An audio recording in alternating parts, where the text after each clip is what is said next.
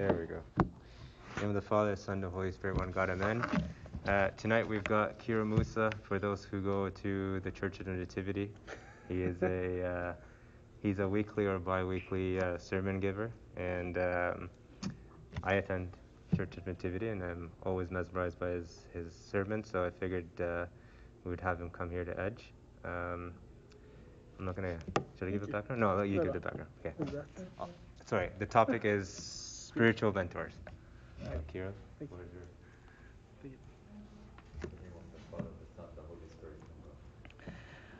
Hello, everyone. Um, so, as you guys know, the theme of today is spiritual mentors.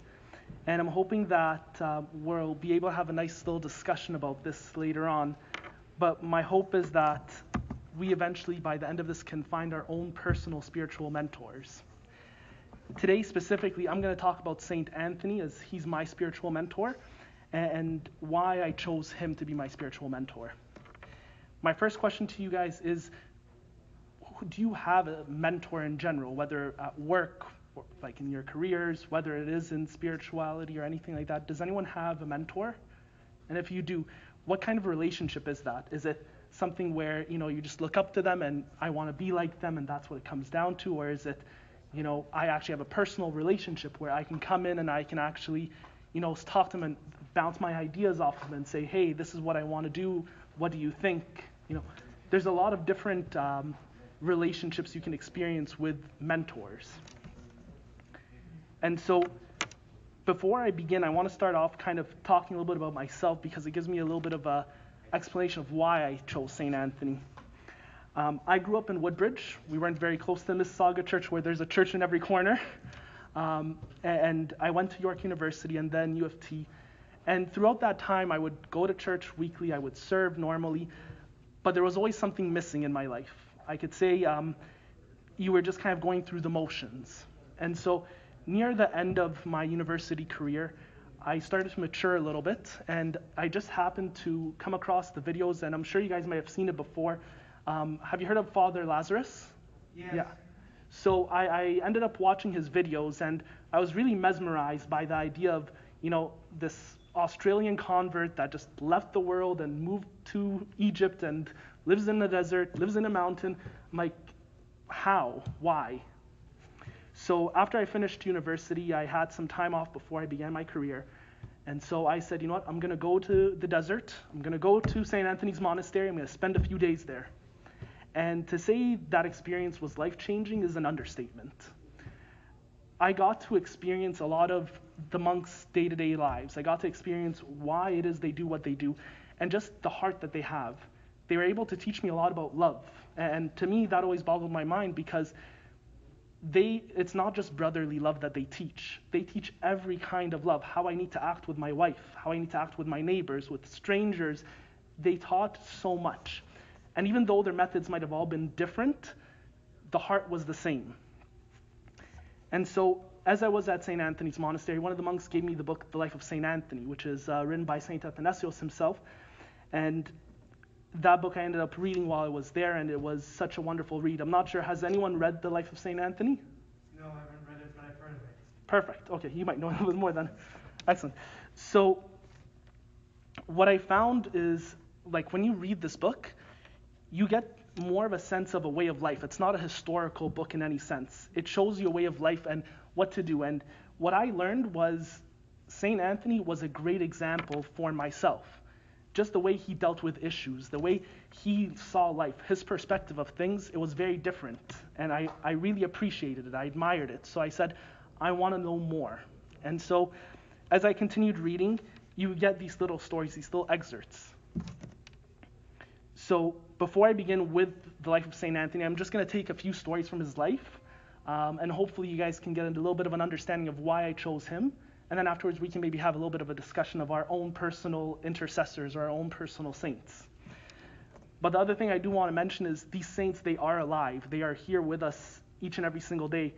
There's actually a story about Pope Kyrillos back in the days. Um, some of you might know that Pope Kyrillos, the miracle worker, um, he was very close with Saint Mina. And his relationship with Saint Mina was not a just, you know, Saint Mina, please pray for me, and that's it. It was a very personal relationship. He had a mentor mentee relationship, but it was also a very friendly relationship. So there's one time, um, and during this time, uh, this period uh, in Pope Kyrillos' uh, tenure, it was a very stressful situation. There was a lot going on in the church. And his custom is he goes to liturgy every morning. And so he goes to the church in the morning, and this time, instead of praying the liturgy right away, he was kind of sitting in the corner listening to the liturgy. He's very solemn, very like, you know, like stone face, as they call it. And all of a sudden, he starts cracking up.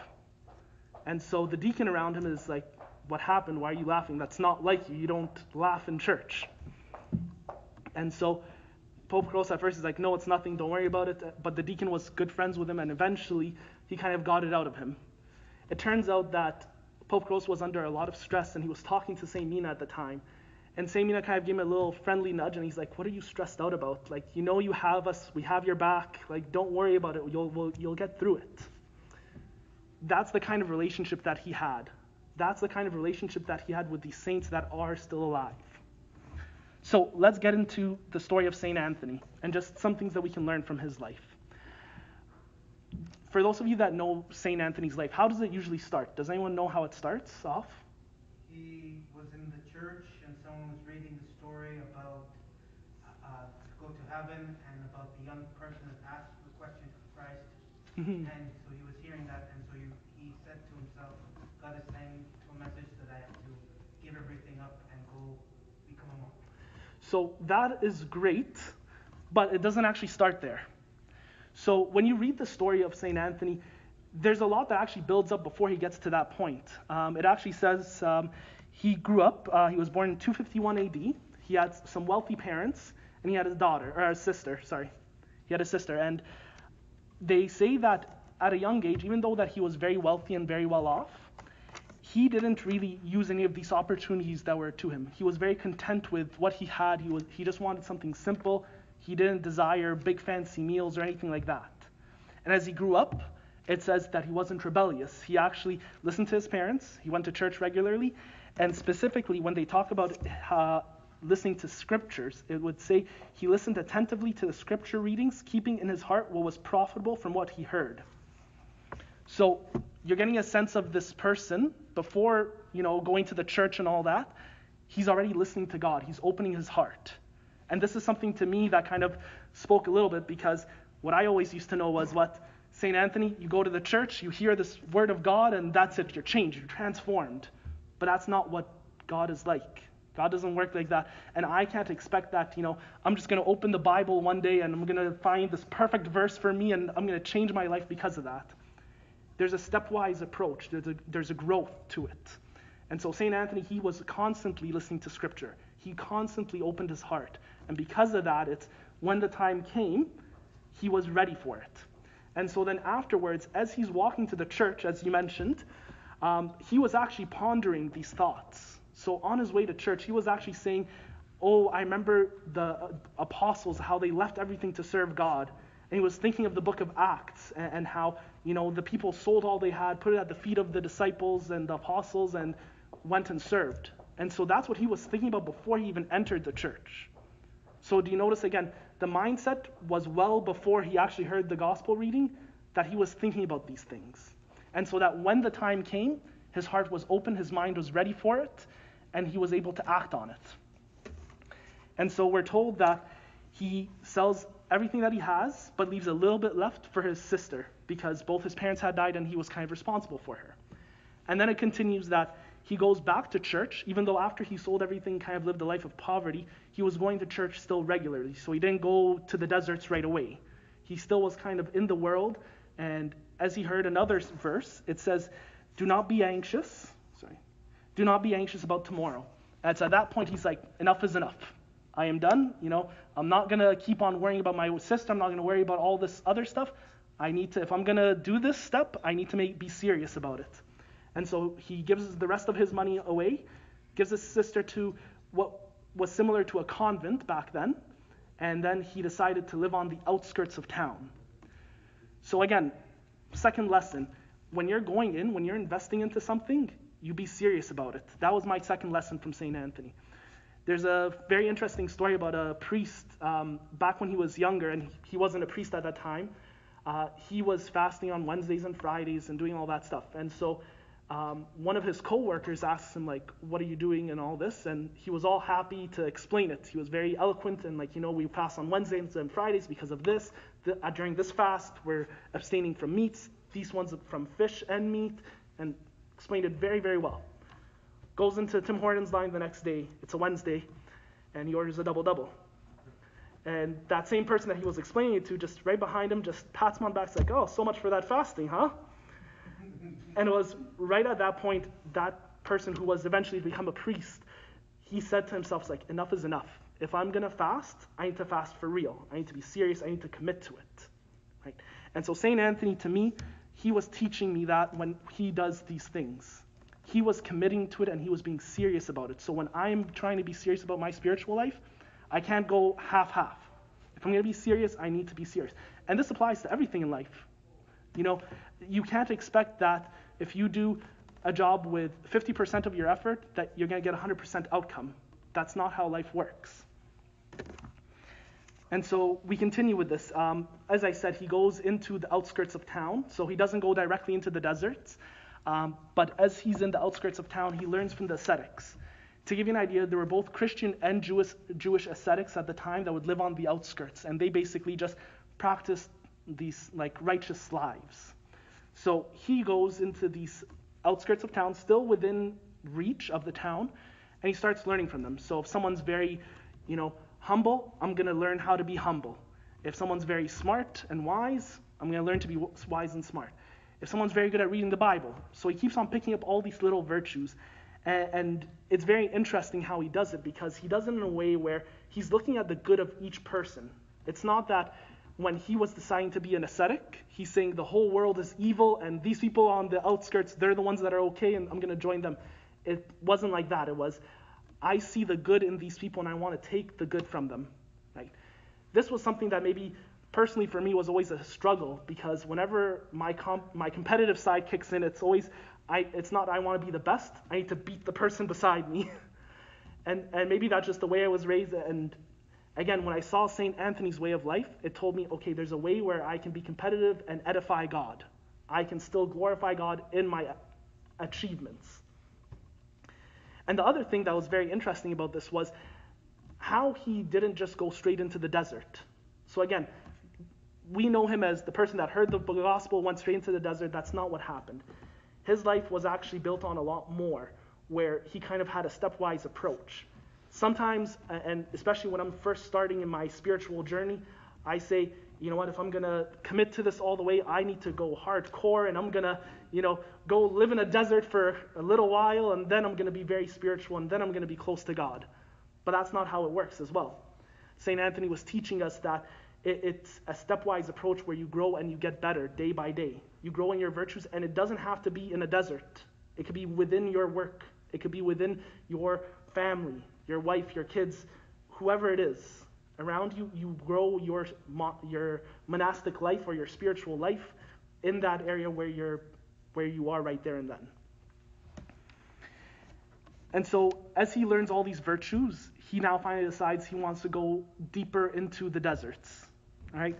And there's a lot of stories of how he fights off the demons. Um, and I'm going to kind of cut it a little bit short. I'll just share a few stories about uh, his temptations, because again, the temptations and how he fought them really spoke to me on how I should deal with these issues.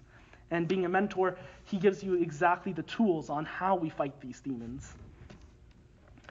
And so we, we learn that as he's um, fighting, or a, after he's learned these, these virtues, he goes into the deserts. The devil, he doesn't like this. The devil wants to start fighting St. Anthony.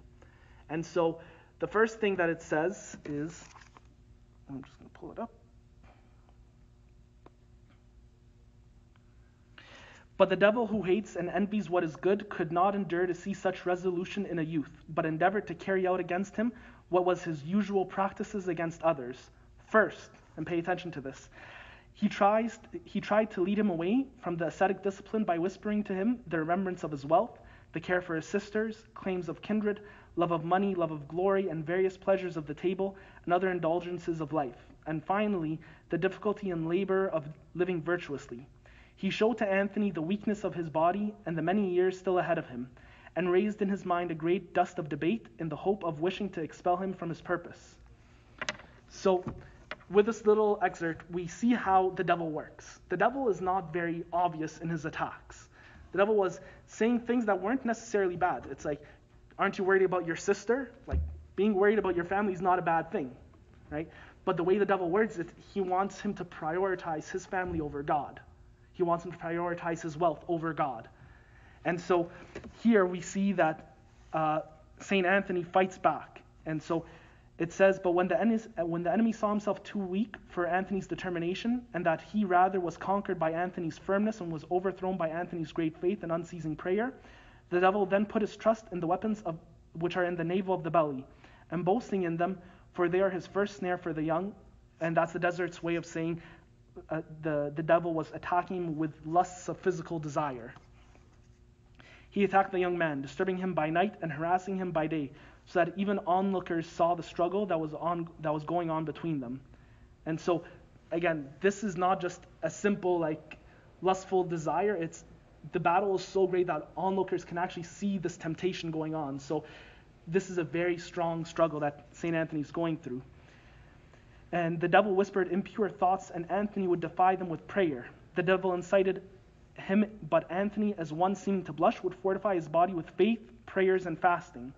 But the wretched devil was determined, and so one night he took the shape of a woman and imitated her acts simply to beguile Anthony. But Anthony's mind, being filled with Christ and the spiritual insight given to him by his soul, quenched the coal of the devil's deceit.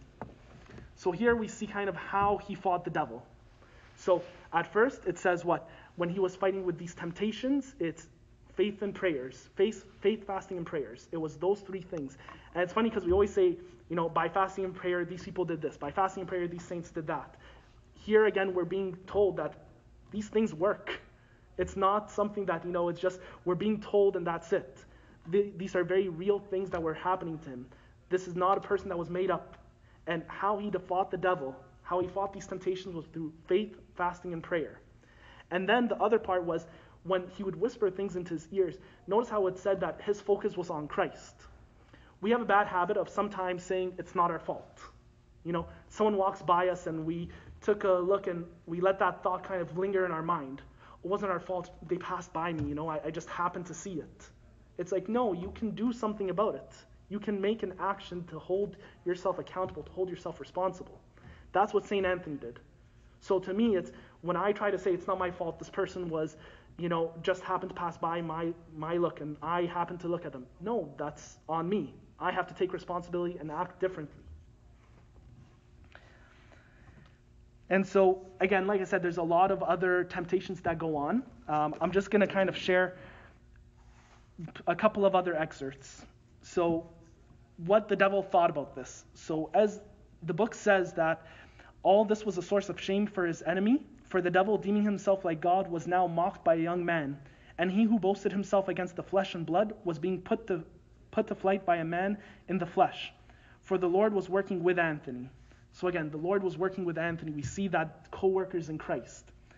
And it continues to say how St. Anthony, just because he won this battle, it didn't mean he, get to, he got to relax. He actually fortified himself even more, and it says that he starts taking on a more strict um, ascetical life. So part of this is also my view. I think sometimes I beat the devil this one during this one sin. I'm good now.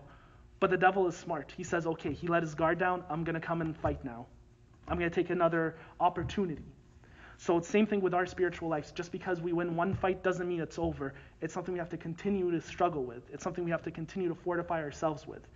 That's what St. Anthony was telling us here. And like I said, there's a lot. Uh, I'm just going to end off with one other story of his uh, temptations. This was one of my favorite stories. Um, after a while of these fights, he ends up going into a cave. This cave was, back in the days, they'd have these caves where they would put the dead bodies in, so kind of like a tomb. And so he would stay there weeks at a time, where one of his friends would come, drop off the bread, and then see him another week.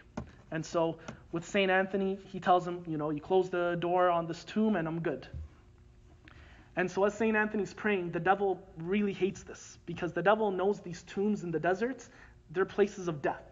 St. Anthony is fighting the devil, but not just that, he's mocking him. He's saying, This is your place of death. I'm going to turn it into a place of life.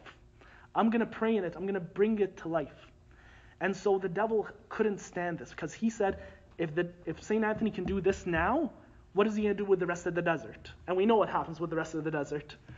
But it comes to a point where the devil is so mad that he actually physically attacks him to the point of almost death. He's unconscious, he's broken down, he's beaten. And fortunately, that person that kept on bringing his bread, he sees him. And so he grabs him, brings him to the church, and again, St. Anthony cannot move. So all these people that know of St. Anthony, they come and they're praying in the vigil for him, hoping that he comes back. He wakes up. And so in the middle of the night, St. Anthony awakes. And what do you think the first thing St. Anthony says to this gentleman that brought him back? Send me back to the cave. Send me back to the cave. And, and to me, that always boggled my mind because you were just beaten half to death. Why are you going back to where you're beaten half to death? And so the man brings him, and St. Anthony specifically tells him, You close the close the door on the tomb because it's going to be scary. You might hear things, don't worry about it. And, and I really like what St. Anthony says because it's something that we need to remember when we're fighting the devil as well. I'm just going to pull it up.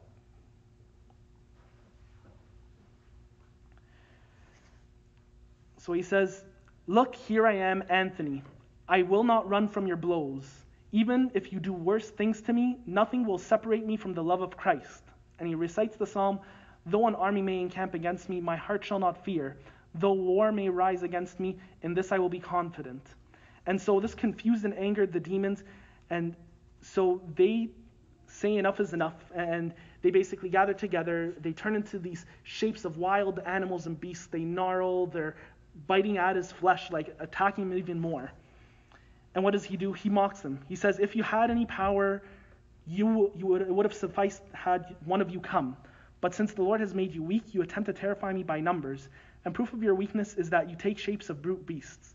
If you are able and have received power against me, delay not to attack. But if you are unable, why trouble me in vain? For the faith in our Lord is the seal and a wall of safety to us. So again, just the way he responds, if you notice, it's not, I'm stronger than you, demons. He always brings it back to God. He always brings it back to Jesus. He says, if you had power by Christ, by God, you could have done this, but you don't. Right? This was the beauty of him. It's everything that he did was always because of God. It's something that we need to remember in our successes. We don't just say, "Oh, thank God," and in the in back of your head you're like, "I put in all the work. I did all this." No, it's it's God gave us the power. God gave us everything that we're able to do. And so I'm going to end it off there. But again, to go back to that theme, the spiritual mentors. Why St. Anthony? To me, St. Anthony was the new prototype of a martyr. He didn't die like the other typical martyrs in a lot of ways, where it's, you know, worship this statue or else you die. But instead, he died daily. He was martyred on a daily basis when he struggled against the demons. He was beaten half to death by the demons. He fought them, and every day he faced a new struggle, and he sacrificed for these struggles. He would witness his faith and lead by example. And so to me, that really spoke to me in volumes because right now we struggle, we, we can be daily martyred. Every day we have an opportunity to become daily martyred. It's up to us to make that decision. It's up to us to say, I want to be like St. Anthony. I want to be like St. George, like St. Moses, like this, like that. But that's why, to me, St. Anthony was my intercessor or my spiritual mentor because he went through struggles that very much I will go through and I continue to go through. And he succeeded. So if I want to be better, I need to look at those who were that, that came before me that did these things and were able to succeed. And so he, encourage, he encourages me when I fall to get back up. That's why he's my spiritual mentor.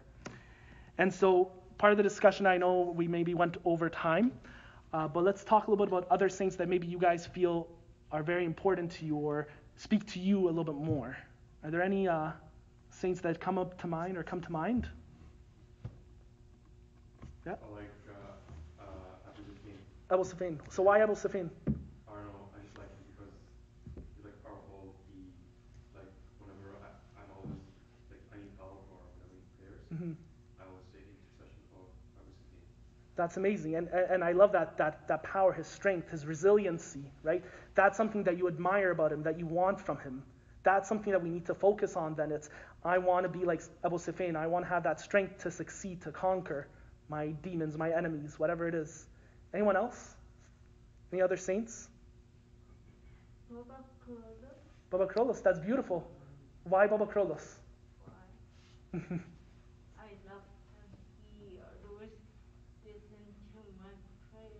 He listens to your prayers, and that's beautiful. He's the man of prayers and miracles, right? He is constantly interceding, he's constantly praying. Um, there's actually a story of Pope Kyrillos one time when he was on the um, table for surgery because he had, I think it was, he ruptured his appendix. And as they're doing the surgery, because he was so used to praying all the time, constantly, he actually starts reciting the liturgy. He's unconscious, but it's that time of the day he's supposed to be praying the liturgy, and he's reciting it. That's beauty in his prayer. There's beauty in what he's doing, and it's something that I can learn from that unceasing prayer. That's something that I want to learn from Pope Kyrillos. Are there any other saints? Yes?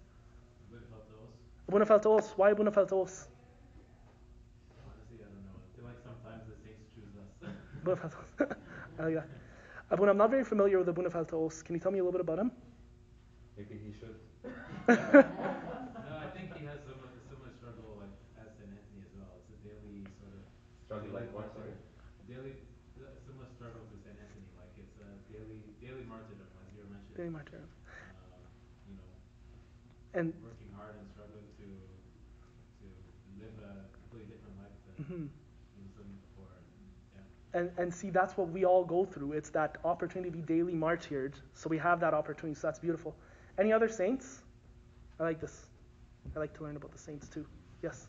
Yeah, sorry, I actually don't, don't have an answer, but because I'm like listening to what everyone is saying here, maybe anyone or you can tell me, how did you pinpoint to one? I know Mhm. your reasons, but I feel like, like, like to his point, like you're, and you're like, you know, through someone's intercessions and prayers and stuff, I just mentioned a whole bunch because it's hard to like pinpoint to one or two or whatever. So the one thing I would say is keep in mind these saints, they're people, right? They all have their personality traits. They might have things that are similar to you. And that's kind of maybe where you can start. For me, it was through God's grace. You know, I happened to see that video of uh, Father Lazarus, and then that made me kind of go to St. Anthony's mon- monastery because I knew that's the first monastery in the world. And then it's like going from there, it was a stepwise approach. I got his book, I read his book, I was enamored by the book. And then you keep going from one step to another. Um, there's a lot of saints in that respect, but maybe it's something that you personally struggled with that you found that another saint struggled with. Uh, maybe it's something where, again, you admired someone's strength or resiliency. St. George was tortured for seven years. We know that. We know that maybe when I go through a struggle that I, it's, it's been ongoing and I think there's no hope, what like what use is there? It's like, well, I remember St. George went through all of this and he kept on staying persistent. So maybe I need to learn from St. George. Maybe I need to keep going with that. And the more you learn about these saints, the more you get closer with them. Remember, they're all living. It's like building a relationship with anyone. It's as you do that, you start building that relationship. And the beauty of the saints is they help you to go towards God. The end goal is God in the end. All these saints, they're here to help you get there, right? Uh, Saint Anthony, he was the father of many monks. His purpose wasn't that everyone looks at him. It's when they look at me, they see God. That's what Saint Anthony was wanted, and that's what he did. That's why there's all these saints that came about from his works. Does that make sense, or does that answer it a little bit? Hmm? Any other saints? There's one saint that I'm thinking of specifically. That's why. Yes. St. Paul. St. Paul. Which St. Paul? There's a lot of St. Pauls. There's a few St. Pauls. There's Paul the Hermit. There's St. Paul, the person that wrote at, uh, wrote the epistles. Mhm. And I think there's another St. Paul. I'm referring to the St. Paul who used to persecute Christians. Yep. And then So- he- And then he, he wrote more than half the New Testament. That's amazing. So, and that redemption arc, that arc of, you know, like he was on the exact opposite end, and then he comes back. And not just that, it's not just like, oh, I'm going to be a, a half decent Christian. It's like, I'm going to write half the Bible, right? Like, that's, that's amazing. That idea of you can come back. I actually think of that also with St. Moses the Strong, St. Mary of Egypt. Those saints to me, they're, they have a very special place in my heart because of that repentance. I love that idea that, you know, These people were very deeply entrenched in their sins, but they still got out of it somehow. They still got out of it. There's still a way, there's still hope for me. That's what I see. I don't know how we are how we're doing on time. Any other saints?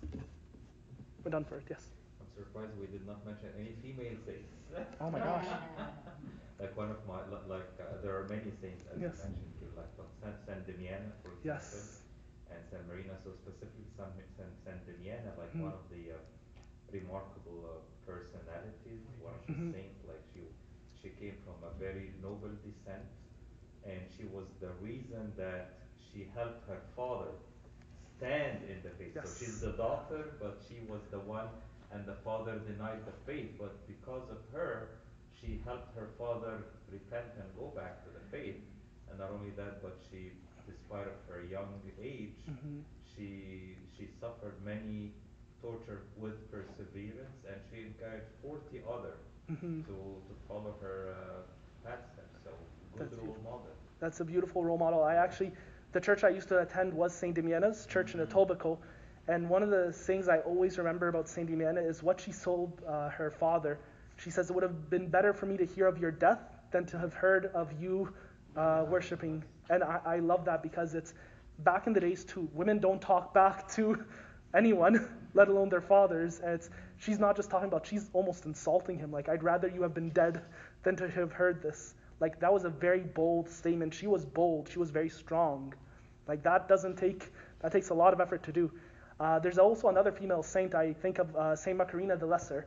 I'm not sure if you uh, know of her, but uh, basically, Saint Basil the Great, the one who wrote the liturgy, that's her, uh, one of her younger siblings. She actually ended up teaching a lot of her siblings um, a lot of their church knowledge, and yet she's very unknown, which I think is beautiful because it's that humility. She had such a humble heart, and she, like, literally trained St. Basil the Great, a few bishops, like, all her siblings essentially became very high up in the church. And with her, it's like nobody seems to know who St. Macrina is because of that humility. She's like, I don't care, it's not about me, it's about God. And that's beautiful. So, yeah, there's a lot of female saints that we also don't uh, look into, but we need to also as well because they're our role models, they're our intercessors. Obviously, St. Mary, you know, uh, humility, something I always think of. I was actually talking with my wife about this. St. Mary's a great example for anyone who's an expecting mother or mother to be. Um, yesterday, our, our little Anthony actually uh, cut himself. And I remember my, my wife was just in tears, like, oh my gosh, he's bleeding. It's the end of the world. And afterwards, when we're talking about this, she was saying, I wonder how St. Mary must have felt, like, you know, with Jesus, holding baby Jesus. Like, what if he gets a cut? Is she thinking, like, oh my gosh, this is God, he got a cut. What do I do? What do I do? Right? So she must have had so much kind of strength and motherly love and patience. There's so many virtues from St. Mary that we could have learned or that we can learn from. And that's, again, the beauty of these saints. They help us in our virtues, they help us grow in our virtues. They're alive, they're living. We need to ask for their intercessions. We need to grow with them. And through them, we're able to get to God. Right? The the important thing is that we get to God. That's the end goal. How do we do it? It's through all these different tools that God provides for us. Glory be to God forever and ever. Amen. Thank you, Lynette. Thank you, Thank you.